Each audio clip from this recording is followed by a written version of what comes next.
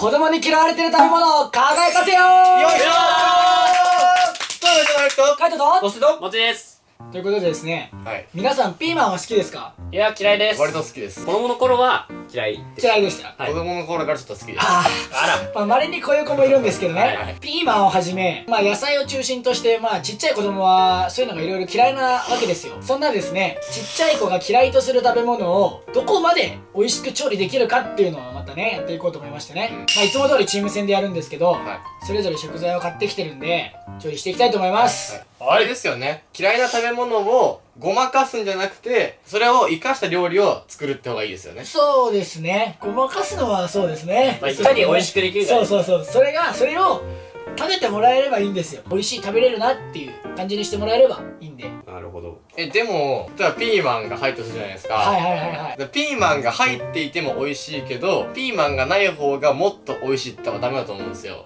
いやまあでもですね今回はそういう食材を子供に食べてもらうっていいうのがやでも輝かせようですよね。じゃあもう食材に金箔を貼りましょう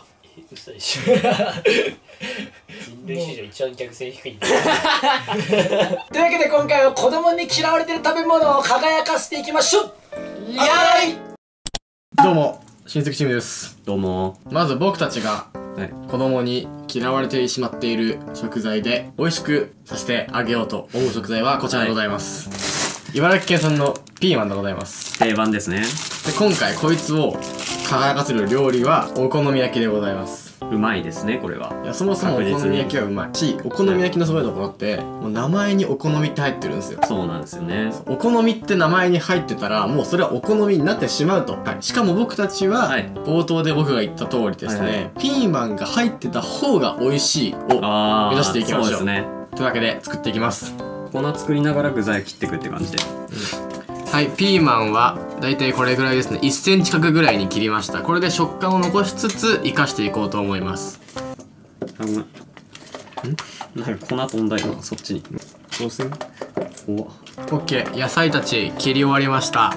投入しますか？じゃあも投入しましょう。はい、うまずキャベツから。混ぜちゃおうかな。じゃあ。ちょっとデカめのキャベツにしちゃったけどまあいいよね。大丈夫大丈1センチ角ピーマンを入れていきます。夫はいまあいい感じにね具材野菜とあれが混ざってるんで。解凍してから混ぜるよね。あちょっと豚バラ用意したんでこいつちょっと冷凍してあるんでね。解凍してから入れていきます。ちょっと焼けたわ。あ本当だ。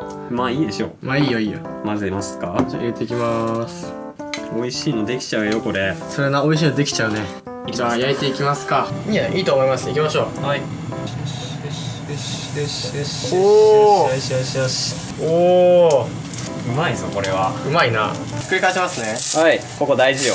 いきます。オッケおー。ーきれもう一回見せますよ裏を。いはい。うおわキモおいちょっとキモい。ピーマンが見えてるけどこれ含めて子供が喜んでもらえたら俺らの勝ちだもんね。それな。あとは他ソース。ソースこちら。いやいいんじゃないでも。はい。というわけで新世紀チームの料理完成しました。完成です絶対美味しい。美味しいです。ミレニアムチームです。はい。今回僕たちは何を作っていくんでしょうか？ナス入りチャーハンでございます、ね、なるほど。これナスをですねただ入れるとねまずいってなっちゃうので今回ですね僕たちはこの、まあ、バターとですねニンニクとあと醤油。にねえ漬け込んでちょっとチャーハン作っていこうじゃないのという考えでございます。はい。でこちらナスを切っていきましょう醤油をまず入れていきます。かな。完成したのでえぶち込みます。ここに。はいナス落ちた もういいなくて無理 その間に僕は卵でも溶いて痛いあ今回言いますね。熱いご飯。2種類の違うご飯を使っていくっていうね。こだわりですか？らそうこだわり。ここにですね塩です。そして胡椒。出てこないねこれ。あんま出てこないですね。ということであ胡椒が普通にあります。あるんかーい。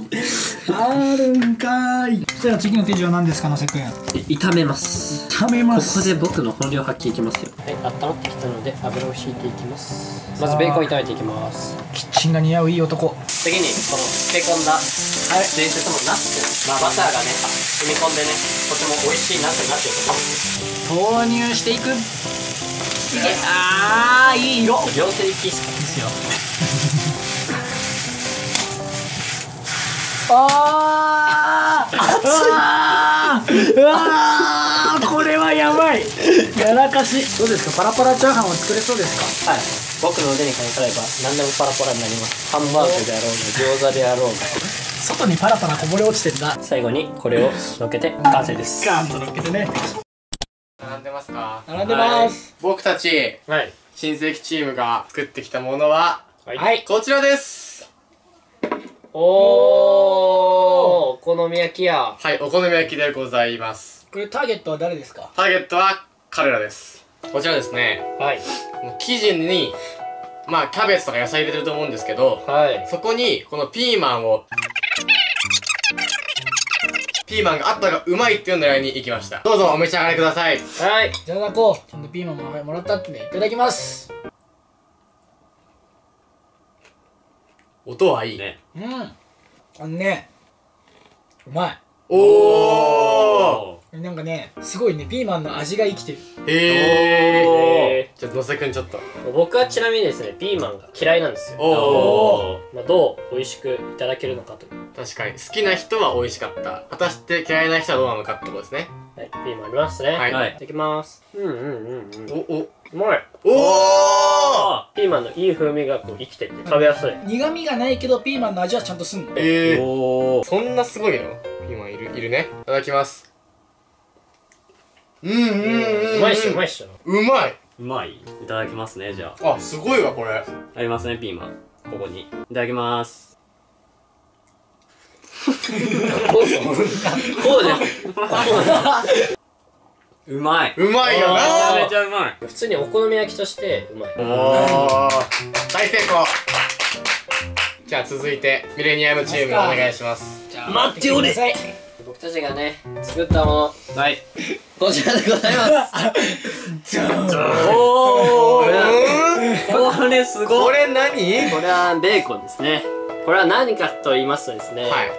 あナスをね僕使ったんこれナスどれぐらい入ってると思いますか？4分の1ぐらい。ーまあいって半分ぐらいかな。実は丸々2本入ってます。ええー、すごいすごいえわからんね。ドンドン。入ってます。えナス好き？ー、ナスはまあ嫌いでもないけどじゃあ先に食っていい？好きでもない。じゃあいただいていいですか？はい。い。ただきます。と。おっと。めちゃめちゃうまい。マジで？したな。いただきます。いですね。男前っすね。お前っすね。ナス嫌いですけどいただきます。ズバリ感想は？めっちゃ美味しい俺なナス嫌いなんだよ。あそうなんだ。もうねほとんどナスを食べないの。もう嫌いすぎて。ナスいないよ。い。ないナスいないわ。ナスいないよな。いない。そうか、ナスの存在意義はあるんだけど、味はしないみたいな。これ入ってますからね。ナスって言われないと多分気づかないかもしれあ、ない。そうそうそうそう。ベーコン食べてよ。いや違うよやっぱ。ベーコン。いこういうなんか一番がっつくのを期待してるのはもっちだから。ただきます。すごいすごいすごい。